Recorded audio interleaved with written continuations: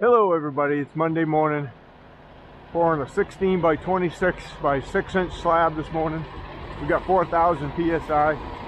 Just a garage slab. We set this up a couple weeks ago. We've been this long waiting to get concrete. But we got it today. Between having a hard time getting concrete and the weather, we're finally gonna get this done for the guy.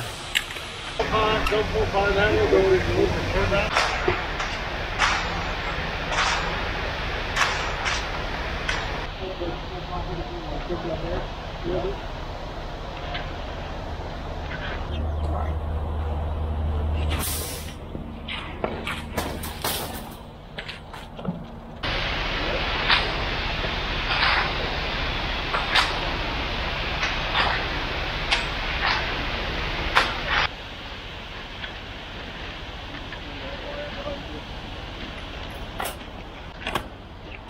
Brian will be watching the video. Make sure you're pulling the wire. right, Brian?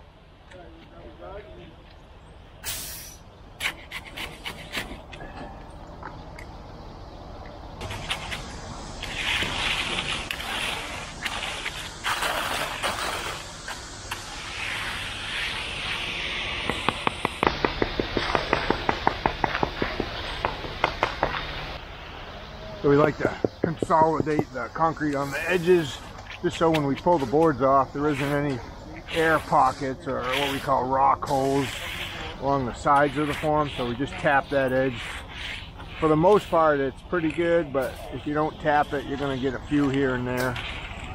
You can see that just you can see that right there how that consolidates it. Sometimes you can even see a little air bubble come out and just pop out we set this all to grade when we were here the first time, but we haven't checked it. It's been a couple weeks, so I'm just going to go around.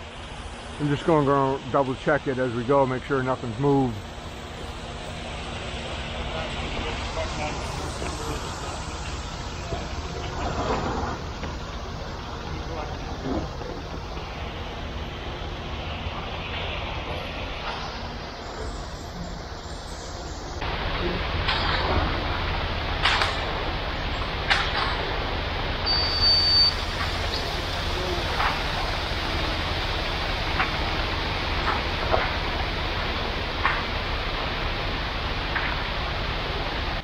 That's a self-leveling laser, so you just need to get it somewhat level. Doesn't have to be perfect. Hit the on button, and then it self-levels itself. And then it'll start spinning that laser beam around, and then the receiver, the receiver is going to catch the laser beam in here. You got that much of a width for it to catch it, and it'll tell you if you got to go up or down, and then it tells you when you're right perfect. It'll have a straight line. See that? Telling me I got to go down to hit the laser beam now I'm a little too low, then I go up right there. So when I when it beams out like that, when it straight lines out, that means that's where I, right where I want to set the laser, the receiver. So I'll tighten it right there.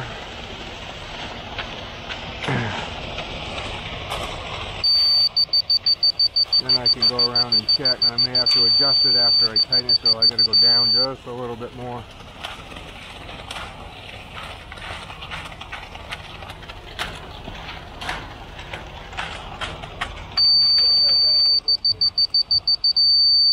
Perfect. Perfect right there.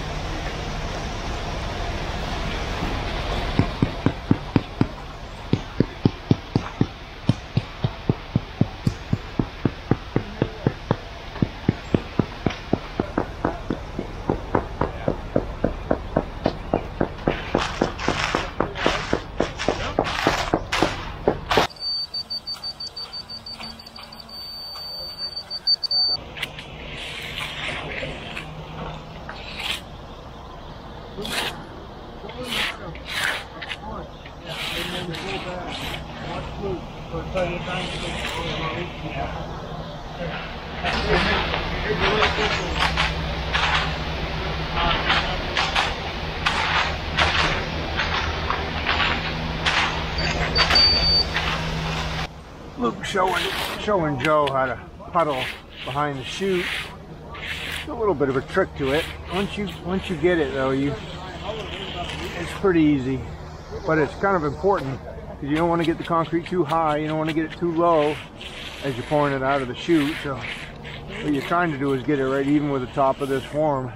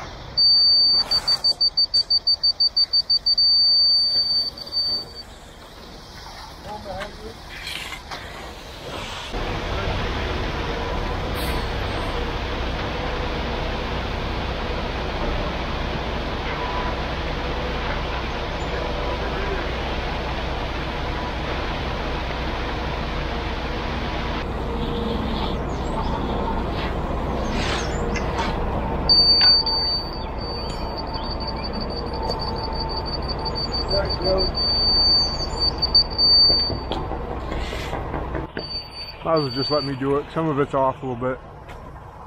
Just a tiny bit. I'm trying to get it as flat as possible.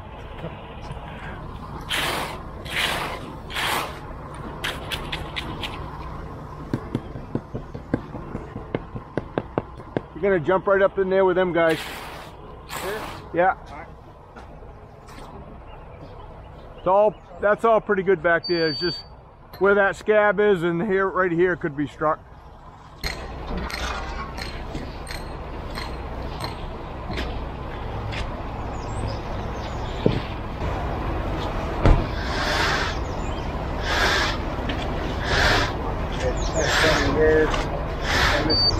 just like the exit.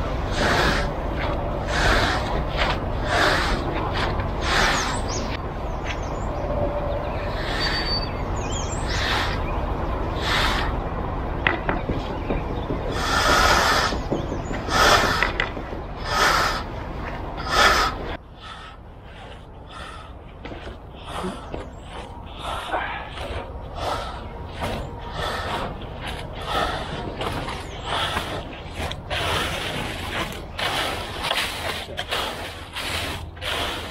always moving with the same rhythm as them, Joe.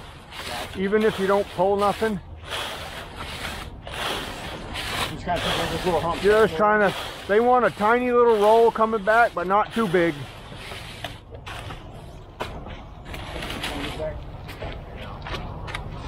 See how his edge. Now the most important part is his edge. If that if that high gets out over, see where the end of his straight edge is going. Yeah. See the line. Yeah, circle line up. If it gets out over it, then he's got to stop and then he clean it. So what we try to do is just, as he's kicking, Scrape off the top. yeah, try to keep that without hitting his feet and tripping him or hitting his fingers. So we're always like, Yo-yo.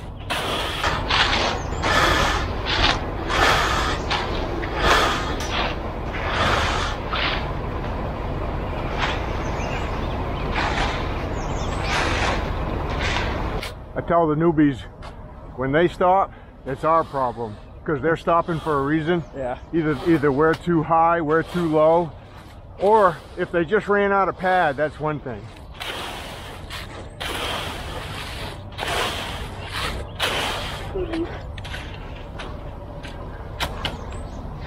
Is that right? In other words, if they stop, we don't. Unless they're out of pad like Darren is. See how Darren just ran out? Yeah.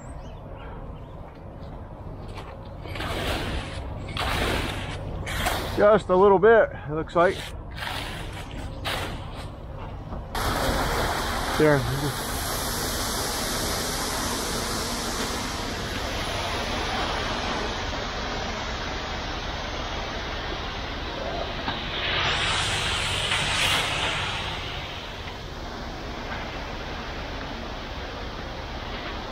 Probably pretty good, yeah. It's gonna wash out across the street when we're ready. Oh, okay. Yeah. Might need to scrape a little bit yeah.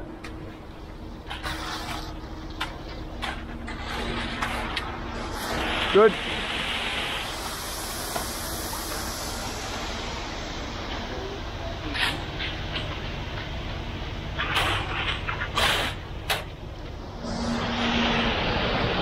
Been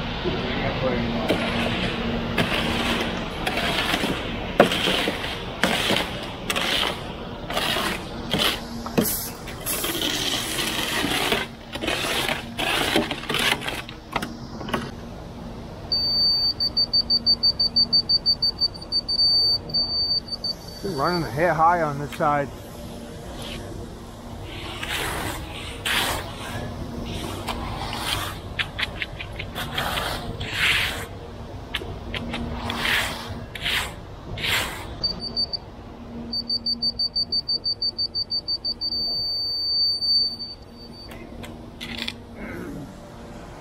Give that a quick strike.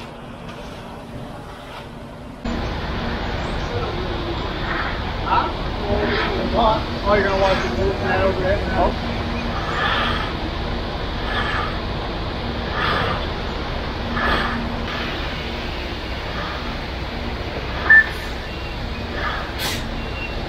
Hey Luke, just watch him go over that grass grill.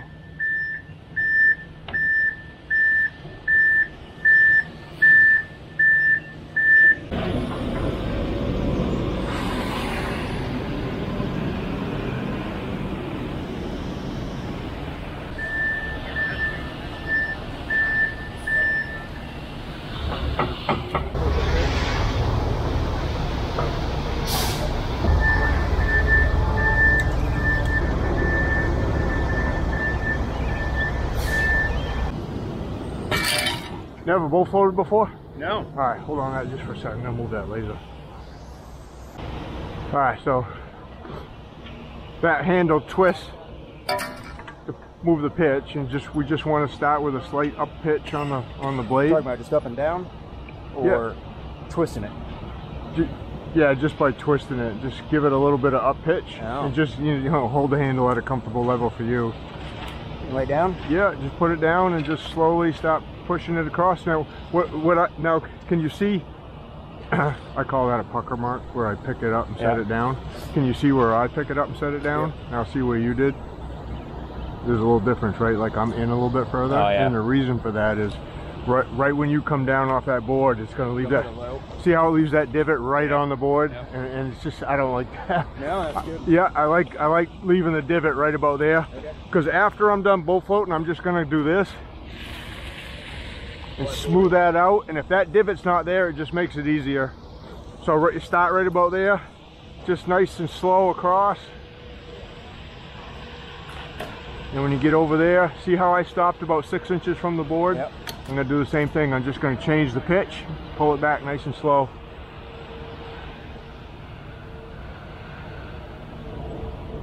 Yep, perfect. Yep, All right there. right about there looks good. Yeah. A little bit of a divot on that end. Yeah, don't worry about that. The mag like that will take it right And out. stop six inches prior. Yeah, just pick it up like I did. And I like to kind of I slide it and pick it at the same time. It doesn't stick quite so bad. All right. And same thing. Same thing, yeah. For this slump, this was about a six inch slump. One time down and back usually does a good job. If it's a little stiffer, you may have to go two times, maybe three times. Does it matter on the speed, or you just want to go faster, Yeah, I think I think the more comfortable you get with doing it, you could go a little bit faster. But yes, the speed does matter. If you go too fast, you're just going to kind of what I call tear the surface. It's going to pull that rock apart from each other. And you're just trying to settle the aggregate and bring up this cream. That's all you're trying to do, really. A day like today on a small pour, your speed doesn't matter. On a bigger pour, where you got Gotta a lot move. of square footage, the bull float guy just kind of wants to keep up best he can. I forget how much overlap you want. That's pretty good, yeah. About about an inch or two.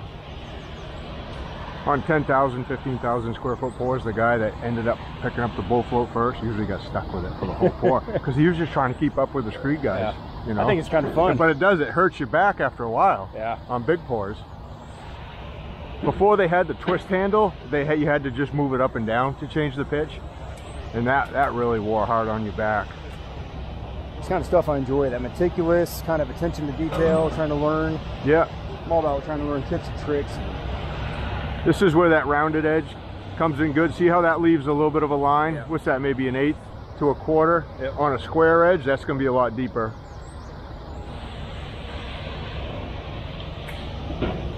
You know, I want to be right on the edge over here. Yeah, pretty close. I mean, if, if you're if you're an inch or two away, it's okay because you're going to go around and mag it after anyway. Dude, I'm leave that loose. Them guys usually when they're done screeding like that, they'll take their mags and clean that board off. Right now they're just gabbing. Come on, you schmuck. Hold on a minute, Luke. Don't take all his fun away. Just remember, we're below the board there. Yep, It feels like it's not right. I'll check it. All right, now since we got really good access around this thing, now we can let the bull float do a little bit more of our work instead of instead of the mag. So now what I would do is I'd walk over to that side and I'd run the bull float right down where you picked it up all those times, just just a pass here. Then I'd go over there and do a pass there, then go around the bat and do another one.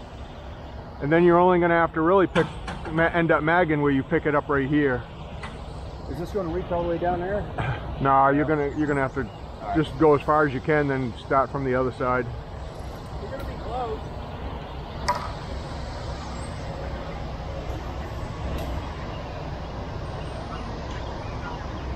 Yep, just like that.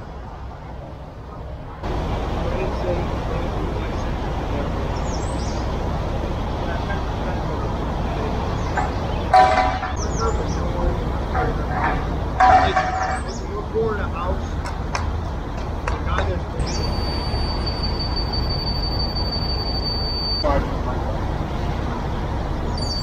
I know, he was the one that was like, oh, just run somewhere.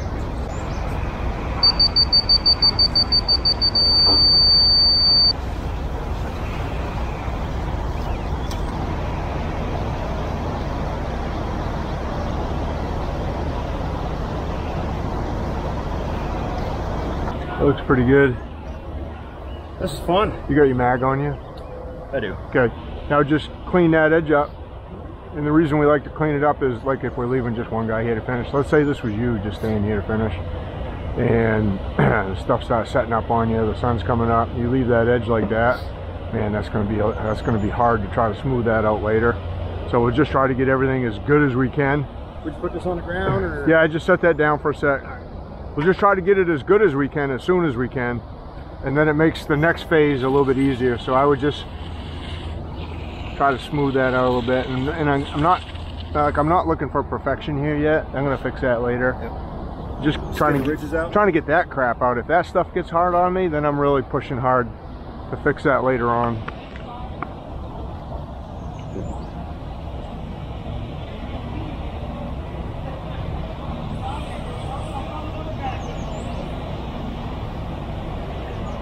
Hey, it's all the little pig. I guess you swipe, come in, right? Nah, like you watch how I do it. So I'd stay right. I'd start right here.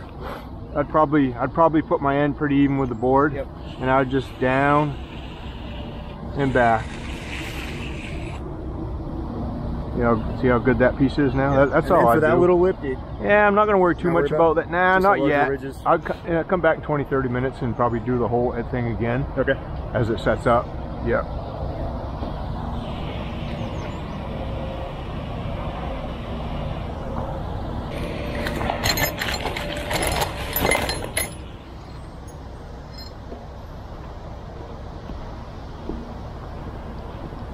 Have you, never put anchor bolts in then? Nope. Okay. These are pretty easy. So obviously most guys most guys will use either a two by four, right? So they have a three and a half inch plate, or they'll have a two by six, which is about five and a half inches. Talking about for the base or foundation, right? Yeah, but you know they'll lay that plate down first, then they'll build their wall and set it up Yep. on top of that plate. We call that a sill plate. So they, how they anchor that is with these. Have you ever seen these before? No. You've never even seen these? No. Okay.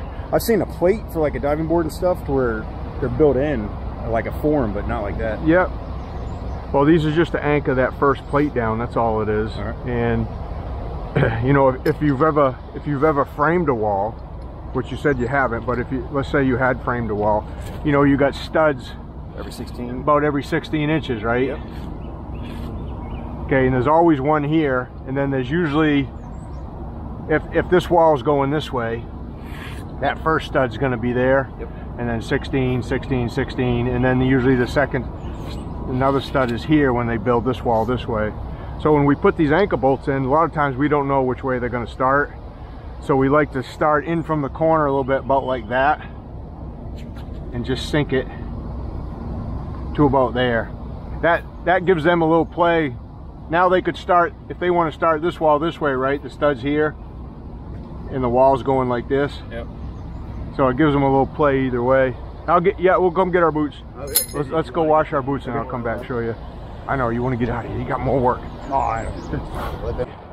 So again, I'll come in about this Jack far. studs. Anchor bolt, anchor bolt, anchor bolt, and then just eyeball the rest. Okay. Yep. And is there a set amount that needs to go down the side? Nah, like I said, every four or Four five, five? feet, Okay. yeah. Right. Unless the guy's here and he's real fussy about it. Sometimes you might hit that rebar that's down in there too. Just work it around if you feel like it hits it.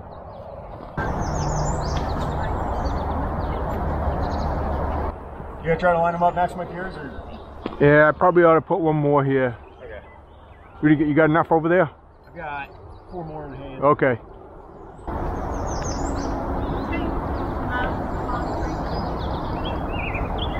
Uh, we'll break them up.